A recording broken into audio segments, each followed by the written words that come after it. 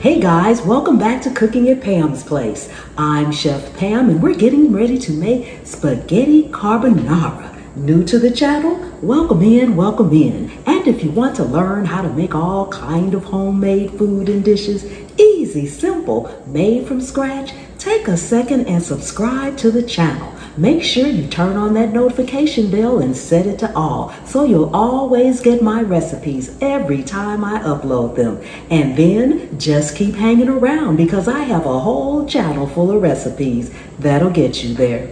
Let's get busy. We are back and we need to go over our ingredients. First off, the star of the dish, our spaghetti.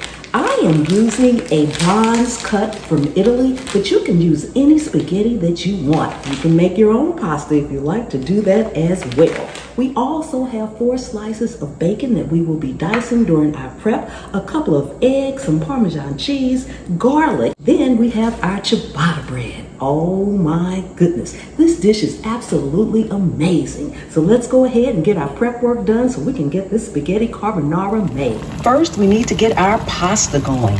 Make sure you salt your water really well. Then go ahead and add in your pasta and let it cook till it's al dente, just until done.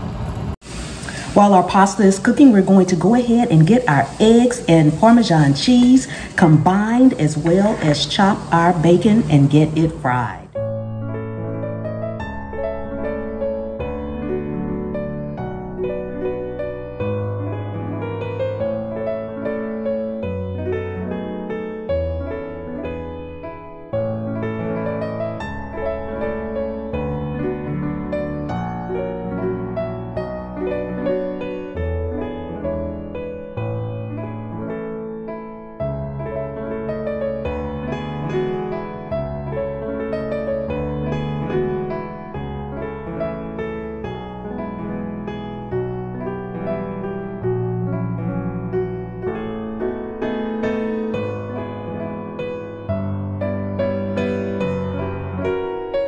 Okay, our bacon is nice and crispy, so we're going to remove it from the skillet, drain the excess oil out of the skillet, and then we're going to put it back in the skillet and proceed from there.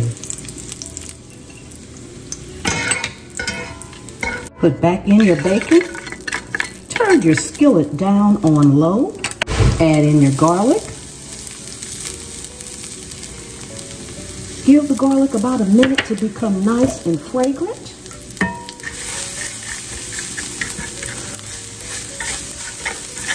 Drain your pasta, reserving at least half a cup of the pasta water. Now you're going to toss in your pasta.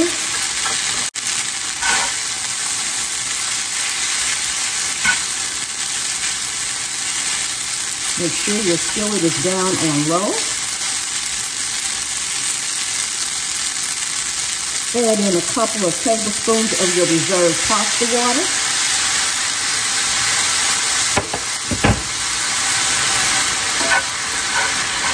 Now working quickly, add in your egg and cheese mixture. You want to work quickly so you don't end up with scrambled eggs.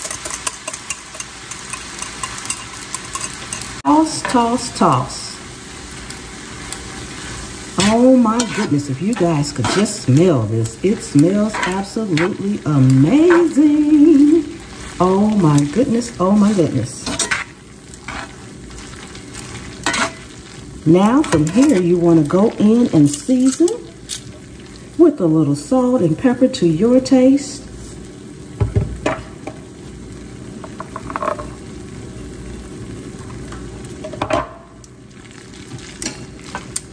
Stir and add in your spinach.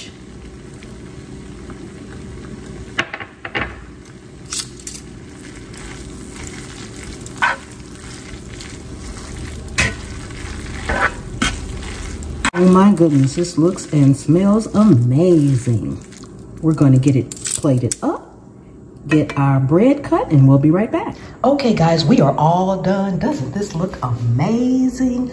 Oh my goodness. I think this one deserves a taste test. So let's go ahead and get ready, and we'll be right back.